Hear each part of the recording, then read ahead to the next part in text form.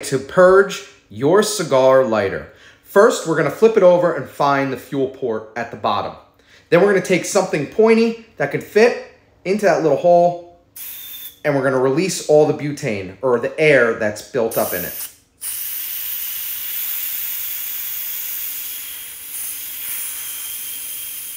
This is going to ensure that all air bubbles are coming out, but also the fuel is gonna come out as well, which is fine. We're just gonna refill it back up. Not a big deal at all.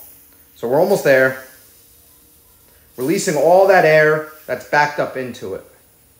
All right, now we take very good butane. Try to get top of the line. It does burn different. So this, I have premium butane fuel by Zippo. Gonna take it, take your lighter, Hold it straight up and down. And look at that. Absolute perfect.